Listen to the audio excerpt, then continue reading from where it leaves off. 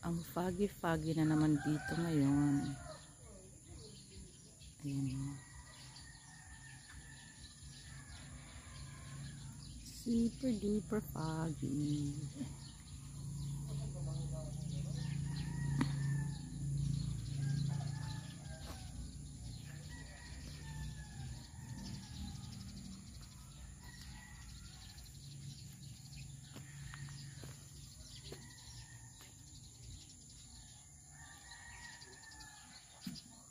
Para kang nasa rainforest, makikita mo yung mga hamog na bumababa.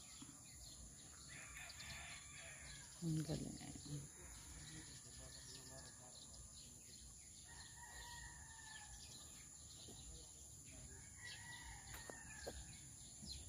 Ah, ang laki-laki naman ng puno. Ang galing, oh.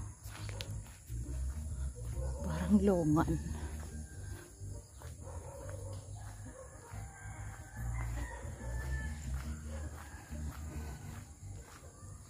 Roaming around again. Ito, ano to, irrigation to papuntang rice field.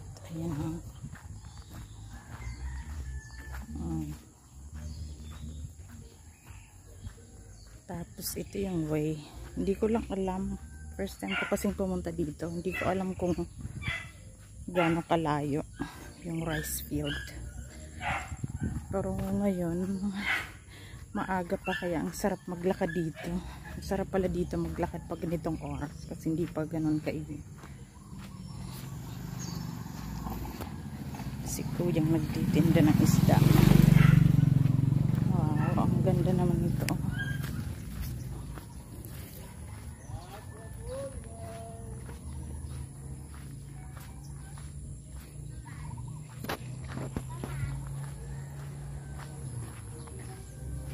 Wow, may ganyan pala dyan. May daan pala dito ganyan.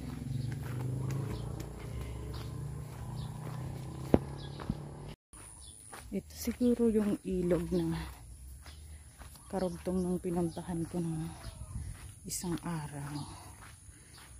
And featuring Kalabaw. Ganito yung gusto kong ibakod sa sa amin na gusto kong ipalit sa kasaba. Ang daming saging and fairness.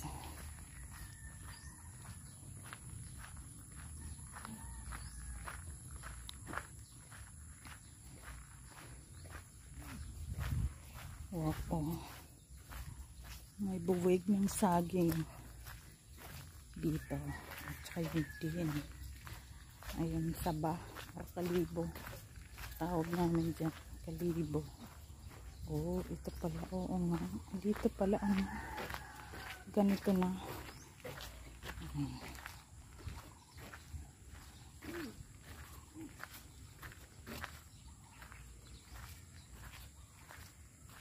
Hmm, Siguro karugtong talaga to. Pero ewan ko ba't ang laki dito sa side na to eh.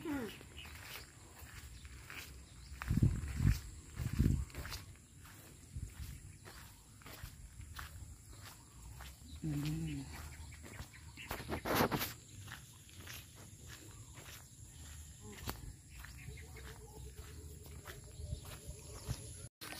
Din yung irrigation.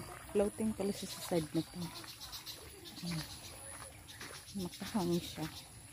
Hindi siya diretso sa lupa. Ayan. Ang haba-haba ng irrigation.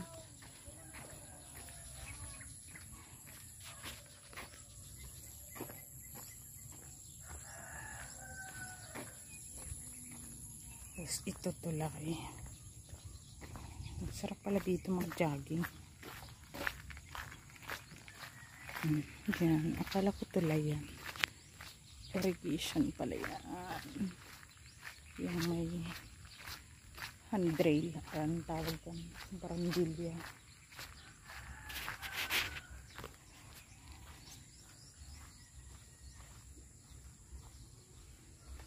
Ang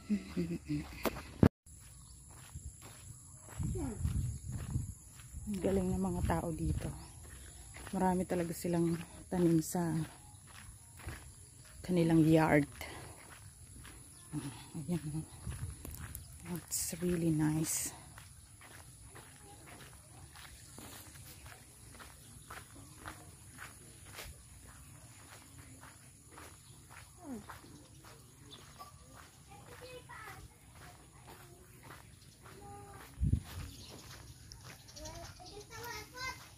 So ito na pala yung rice field.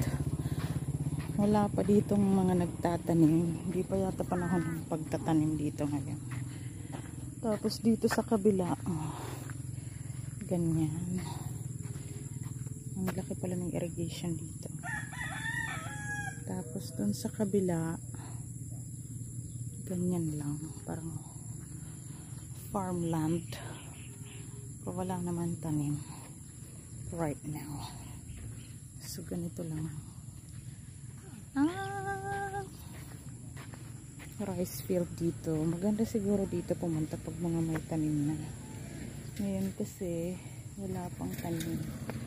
Para tingnan mo yun, oh. Sa tabi, puro gabi.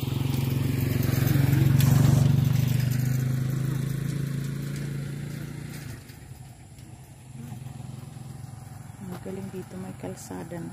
Tapos kalabaw. Ayan, puno ng ipil-ipil. Tapos ganyan, oh. Ang sarap siguro tumira dun sa parang island-island na yun, oh.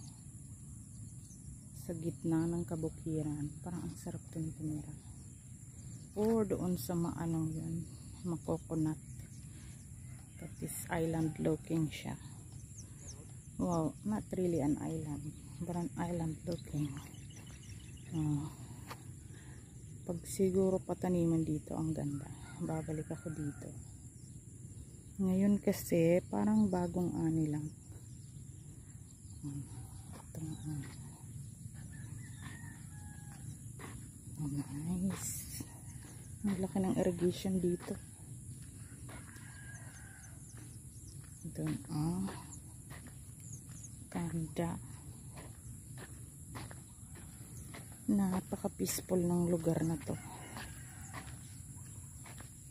At in fairness, may kalsada. Ang galing. Ito yung ang ganda-ganda mini sunflower.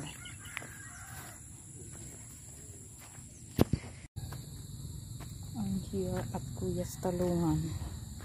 Oh, kasi naman oh, sarap lang sa pakiramdam pag meron kang harvestable na talong. Ayan. Yes. Yes. Ayan pa. Mabunga naman siya so far. Pero inaabanuhan kasi eh. So, for me, ayoko nang maglagay ng abono. Ayan, bagong abono siya. Ganyan lang pala paglagay. Tapos, um, oh, ito ang linis. Ang sarap naman yung itorta. Tapos, lalo na tong ang cute, cute, cute.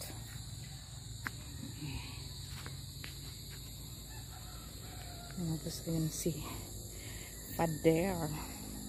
Nagtatanggal ng mga tuyong dahon ng tawag dyan. Kamoting kahoy. Mm. Ay, ang ganda naman ito. Driftwood. Driftwood.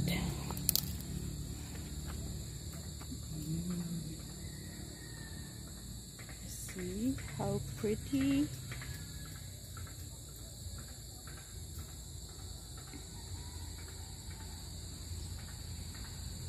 Ditong cute na cute na parang upuan, pahingahan.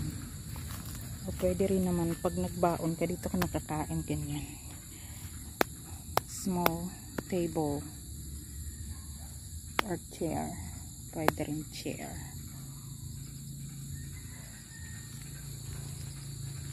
Ah, ayun na naman yung mga wildflowers na ang gaganda. Ang gagandang tingnan. Tapos yung may-ari ng bahay na yan. Ang sweet naman. Binigyan ako kanina ng napakasarap na ginataang laing. Nagulat si ako kasi meron pa palang ganon dito sa probinsya. Namimigay ng ulam.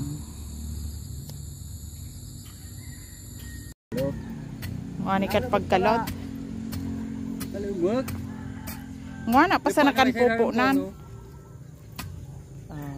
Jadi kaya na, ilan side tadi kaya. Ino kayo bako. Kinalot na bako ah, pa.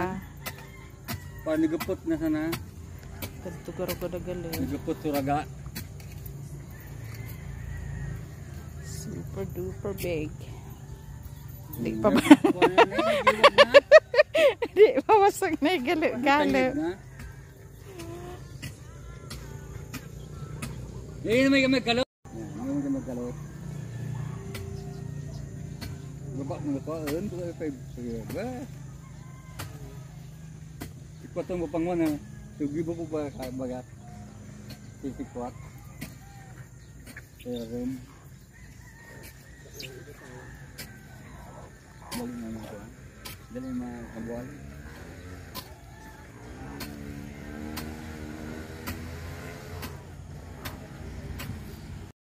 Si Pader.